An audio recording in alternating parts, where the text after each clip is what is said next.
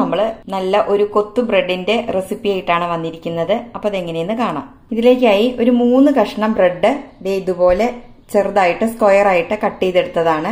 മൂന്നെണ്ണോ അല്ലെങ്കിൽ രണ്ടെണ്ണോ ഒക്കെ വെച്ചിട്ട് ഇത് ഉണ്ടാക്കാം കേട്ടോ നമുക്ക് ബ്രെഡിലും മുട്ടയിലും ഒക്കെ ഏറ്റക്കുറച്ചിൽ വരുത്താവുന്നതാണ്. ഇനി നമുക്ക് ഇതിലോട്ട് വേണ്ടത് മൂന്ന് കോഴിമുട്ട. ഈ മുട്ടയിലും നമുക്ക് ഏറ്റക്കുറച്ചിൽ വരുത്താം കേട്ടോ ഒരെണ്ണം കുറയ്ക്കാം.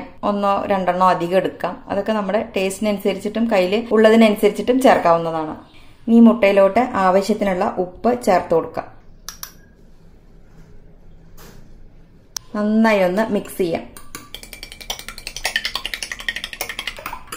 ഇതിനിപ്പുറത്തോട്ട് മാറ്റി വയ്ക്കാം. ഇനി നമുക്ക് ഇതിലോട്ട് ഒരു വലിയ സവോള ഇതുപോലെ പൊടിയായിട്ട് അരിഞ്ഞെടുത്തത്.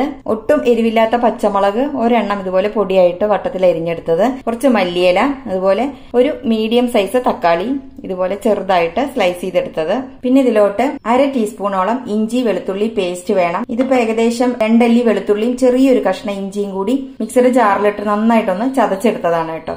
ഒപ്പം നമുക്ക് കുറച്ച് ചിക്കൻ മസാല വേണം. അത് ഏത് ബ്രാൻഡിന്റെ ആയാലും കുഴപ്പമില്ല കേട്ടോ. ചിക്കൻ മസാല അല്ലെങ്കിൽ മീറ്റ് മസാല ആവാം. ഞാനിപ്പോ ഇവിടെ ചിക്കൻ മസാല എടുത്തിരിക്കുന്നത്. പിന്നെ ഇതിലോട്ട് കുറച്ച് മുളക് പൊടി വേണം. കുറച്ച് മഞ്ഞൾപ്പൊടിയും വേണം കേട്ടോ. ഈ പൊടികളുടെ എല്ലാം അളവ് ഞാൻ അതിൽ ചേർക്കുമ്പോൾ പറയാം. ഞാനിവിടെ സാധാ മുളക് പൊടിയാണ് എടുത്തിരിക്കുന്നത്. കാശ്മീരി ചില്ലി പൗഡർ വേണമെങ്കിലും എടുക്കാവുന്നതാണ് കേട്ടോ. ഇനി ഒത്തിരി സ്പൈസി വേണം എന്നുള്ളവർക്ക് കുറച്ച് കുരുമുളക് പൊടി കൂടി ചേർക്കാം. ഞാനിപ്പോ അത് ചേർക്കുന്നില്ല. ഇനി നമുക്ക് ഇതിലോട്ട് കുറച്ച് ബട്ടർ വേണം കേട്ടോ. ഇത് നമ്മൾ വീട്ടിലുണ്ടാക്കുന്ന വെണ്ണയായാലും മതി. രണ്ടോ മൂന്നോ ടേബിൾ സ്പൂൺ ചേർക്കാം. ബട്ടറിലാണ് അത് ഉണ്ടാക്കേണ്ടത് കേട്ടോ അപ്പോഴാണ് നല്ല ടേസ്റ്റ് ഉണ്ടാവുക നമ്മുടെ കൊത്തു ബ്രെഡ്. ഇതിലിപ്പോ ഒരു മൂന്ന് ടേബിൾ സ്പൂണോളം ഉണ്ട്. അപ്പൊ ഇനി നമുക്ക് ഒട്ടും വൈകാതെ പെട്ടെന്ന് തന്നെ തയ്യാറാക്കാം. സ്റ്റൗ കത്തിച്ച് ഇതുപോലെ ഒരു പാൻ വെക്കാം.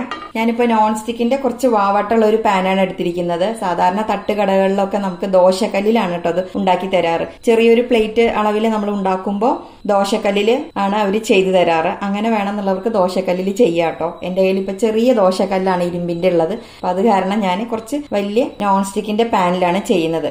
ആദ്യം നമുക്ക് ഇതിലോട്ട് ബട്ടർ ചേർത്ത് കൊടുക്കാം. ബട്ടർ ഒന്ന് മെൽട്ടായി വരുമ്പോൾ നമുക്ക് ഇതിലോട്ട് ഈ ഇഞ്ചി വെളുത്തുള്ളി പേസ്റ്റ് ചേർത്ത് കൊടുക്കാം. ഒക്കെ വളരെ കുറച്ച് മതി കേട്ടോ ഇഞ്ചി വെളുത്തുള്ളി പേസ്റ്റ് ഒന്നും കൂടിയേക്കരുത്. ഇതൊന്ന് വഴറ്റിയെടുക്കാം. പിഞ്ചി വെളുത്തുള്ളി ഒന്ന് മൂത്ത് കഴിഞ്ഞു. ഇനി ഇതിലോട്ട് നമുക്ക് ഈ ചെറുതായി അരിഞ്ഞു വെച്ചിരിക്കുന്ന സവോള ഒരെണ്ണം ഉണ്ടല്ലോ. അതിൽ നിന്ന് മുക്കാൽ ഭാഗത്തോളം ഇതിൽ ചേർക്കാം. കുറച്ച് നമുക്ക് ഏറ്റവും ലാസ്റ്റ് ഗാർണിഷ് ചെയ്യാനായിട്ട് വെക്കാം കേട്ടോ ഇത്ര ഇരിക്കട്ടെ. ഇനി ഇതിലോട്ട് അരിഞ്ഞു വെച്ചിരിക്കുന്ന പച്ചമുളക് ചേർത്ത് കൊടുക്കാം. ഇത് ലാസ്റ്റ് ഗാർണിഷ് ചെയ്യാനാട്ടോ അത് മാറ്റി വയ്ക്കാം എന്നതിന് ശേഷം ഒന്ന് അങ്ങ് ഇളക്കി കൊടുക്കാം. ഒരുപാട് വളർന്നു വരേണ്ട ആവശ്യമില്ല കേട്ടോ. സവോള കുറച്ചൊന്ന് കടിക്കാൻ കിട്ടണം. ജസ്റ്റ് ഒന്ന് ഇങ്ങനെ മൂപ്പിച്ചെടുത്താൽ മാത്രം മതി. ഇത്രയും മതി. ഇനി ഇതിലോട്ട് പൊടിയായിട്ട് അരിഞ്ഞു വെച്ചിരിക്കുന്ന തക്കാളി ചേർത്ത് കൊടുക്കാം. വീണ്ടും ഒന്നുകൂടെ വഴറ്റി കൊടുക്കാം. തക്കാളി ഒന്ന് വഴന്ന് വരുമ്പോൾ നമുക്ക് ഇതിലോട്ട് വളരെ കുറച്ച് പൊടിയിപ്പ് ചേർക്കാട്ടോ. നമ്മൾ മുട്ടയിൽ കുറച്ച് ഉപ്പ് ആഡ് ചെയ്തിട്ടുണ്ട്. അപ്പോൾ ഇതിൽ വളരെ കുറച്ച് ചേർക്കാം. വീണ്ടും നന്നായിട്ടൊന്ന് ഇളക്കി കൊടുക്കാം. ആ തക്കാളി ഒന്ന് ഉടഞ്ഞു വരട്ടെ കേട്ടോ അതുവരെ നമുക്കൊന്ന് ഇളക്കി കൊടുക്കാം. എപ്പോഴും തക്കാളി നല്ല പൊടിയായിട്ട് അരിഞ്ഞെടുക്കണം കേട്ടോ എങ്കിലാണ് അത് ടേസ്റ്റ് ഉണ്ടാവുക. അല്ലാന്നുണ്ടെങ്കിൽ ഇങ്ങനെ കടിക്കുമ്പോൾ നമുക്കൊരു ബുദ്ധിമുട്ട് തോന്നും. കാരണം ബ്രെഡ് അല്ലേ ഇതിന്റെ കൂടെ? അപ്പോൾ തക്കാളി നന്നായിട്ട് പൊടിയായിട്ട് അരിഞ്ഞെടുക്കാനായിട്ട് ശ്രദ്ധിക്കുക. ഇനി നമുക്ക് ഗ്യാസിന്റെ ഫ്ലെയിം ഒന്ന് സിമ്മിലോട്ടാക്കാം. അതിനുശേഷം പൊടികൾ ചേർക്കാം. ഒരു കാൽ ടീസ്പൂണോളം മഞ്ഞൾപ്പൊടി ചേർക്കാം. അര മുക്കാൽ ടീസ്പൂണോളം മുളക് പൊടി ചേർക്കാം. മുളക് പൊടിയുടെ കാര്യത്തിലൊക്കെ ഓരോരുത്തരുടെയും ടേസ്റ്റിനനുസരിച്ച് ഏറ്റക്കുറച്ചിൽ വരുത്താം. അതുപോലെ കാശ്മീരി ചില്ലി പൗഡർ വേണമെങ്കിൽ അതെടുക്കാം ഇനിയിപ്പോൾ അതിൽ കുരുമുളക് പൊടി വേണമെങ്കിൽ അത് ചേർക്കാം. അതൊക്കെ നമ്മുടെ താല്പര്യത്തിനനുസരിച്ച് ചെയ്യാവുന്നതാണ് കേട്ടോ. ഞാനിപ്പോൾ ഏകദേശം അര മുക്കാൽ മുക്കാൽ ടീസ്പൂണോളം എടുത്തിട്ടുണ്ട്. അത് ചേർത്ത് കൊടുക്കുക. ഇനി ഇതിലോട്ട് ഒരു ടീസ്പൂണോളം ചിക്കൻ മസാല പൊടി ചേർത്ത് കൊടുക്കാം ഇനിയിപ്പോൾ ഈ ചിക്കൻ മസാലയ്ക്ക് പകരം മീറ്റ് മസാല വേണമെങ്കിൽ ചേർക്കാം.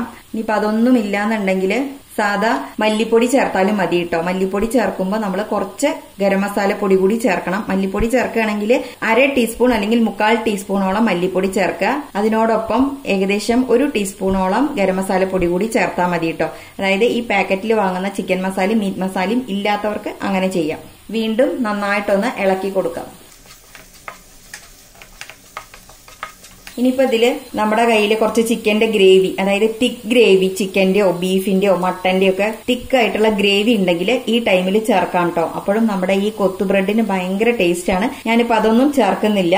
ജസ്റ്റ് ഈ പൊടികൾ മാത്രമേ ചേർക്കുന്നുള്ളൂ. അത് കയ്യിലുള്ളവരാണെങ്കിൽ അതുകൂടി ചേർക്കുക കേട്ടോ ഈ ടൈമിൽ ചേർത്തി കഴിഞ്ഞാൽ ഭയങ്കര ടേസ്റ്റ് ആയിരിക്കും നമ്മുടെ ഈ കൊത്തു ബ്രെഡിന്. നന്നായിട്ട് ഈ പൊടികളൊന്ന് ഈ ബട്ടറിൽ കിടന്നിട്ട് ഒന്ന് മൂത്ത് വരട്ടെ കേട്ടോ അതിന്റെ ആ പച്ചമണം മാറുന്നിടം വരെ നമുക്ക് ഇളക്കി കൊടുക്കാം.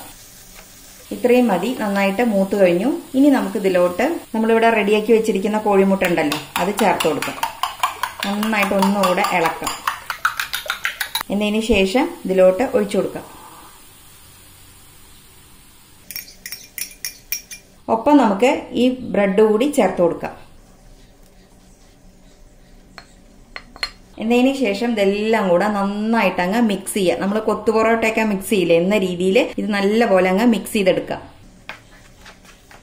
സാധാരണ തട്ടുകടയിൽ ഈ ദോശക്കല്ലിൽ ഇത് ഉണ്ടാക്കുമ്പോൾ ചെറിയ സ്റ്റീലിന്റെ ഗ്ലാസ് ഉണ്ടല്ലോ. അത് വെച്ച് അവർ ഇങ്ങനെ കൊത്തി കൊത്തി കൊത്തി എടുക്കുക ചെയ്യാറ്. അങ്ങനെ ദോശക്കല്ലിൽ ഉണ്ടാക്കുന്നവർക്ക് അങ്ങനെ ചെയ്യാം കേട്ടോ ഞാനിപ്പോ നോൺ സ്റ്റിക്ക് ആയത് കാരണം ആ രീതിയിൽ ചെയ്യാത്തത്. നമുക്ക് ഈ സ്പൂൺ വെച്ചിട്ട് തന്നെ നമുക്ക് ഇതുപോലെ ഇങ്ങനെ കുത്തി കുത്തി എടുക്കാം.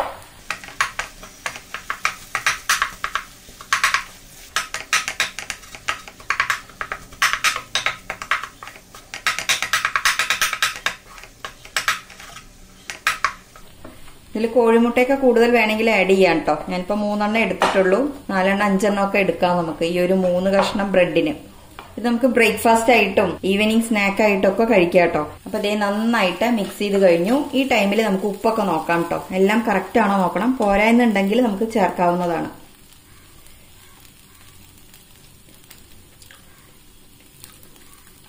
എല്ലാം കറക്റ്റ് ആട്ടോ ഇതിൽ. നല്ല ടേസ്റ്റ് ആണ്. വേണമെങ്കിൽ എന്റെ അഭിപ്രായത്തിൽ ഒരു രണ്ട് കോഴിമുട്ടയും കൂടി നമുക്ക് അധികം ചേർക്കാം കേട്ടോ ഇത്രയേ ഉള്ളൂ കേട്ടോ ഇനി നമുക്കിതിൽ കുറച്ച് മല്ലിയില കൂടിയേ ചേർക്കാനുള്ളൂ. അതുകൂടി ചേർത്ത് ഒന്നങ്ങ് മിക്സ് ചെയ്യാം. എന്നതിന് ശേഷം നമുക്ക് ഗ്യാസ് ഓഫാക്കാം ഇനി നമുക്ക് ഏറ്റവും ലാസ്റ്റ് നമ്മളിവിടെ ബാക്കി ഗാർണിഷ് ചെയ്യാനായിട്ട് വെച്ചിട്ടുള്ള സവോള ഉണ്ടല്ലോ അതുകൂടി ചേർത്ത് കൊടുക്കാം. അപ്പൊ ഇത്രേ ഉള്ളൂ. എല്ലാവരും ഒന്ന് ട്രൈ ചെയ്ത് നോക്കണേ. നല്ല ടേസ്റ്റി ആയിട്ടുള്ള കൊത്തു ബ്രെഡാണ് കേട്ടോ. തീർച്ചയായും എല്ലാവർക്കും കുട്ടികൾക്കും മുതിർന്നവർക്കൊക്കെ ഒത്തിരി ഇഷ്ടാവും. ഞാൻ പറഞ്ഞ പോലെ ഗ്രേവി ചിക്കന്റെയോ മട്ടന്റെയോ ബീഫിന്റെ ഒക്കെ ഗ്രേവി ഉണ്ടെങ്കിൽ അതുകൂടി ആഡ് ചെയ്ത് കഴിഞ്ഞാൽ ഓ പറയാനില്ല കേട്ടോ. പിന്നെ ഒന്നുകൂടെ ടേസ്റ്റ് കൂടും. അപ്പോൾ എല്ലാവരും ഒന്ന് ട്രൈ ചെയ്തിട്ട് ഫീഡ്ബാക്ക് ഒക്കെ അറിയിക്കണേ. വീണ്ടും നല്ല നല്ല റെസിപ്പിയുമായി വരുന്നത് വരേക്കും. ബായ്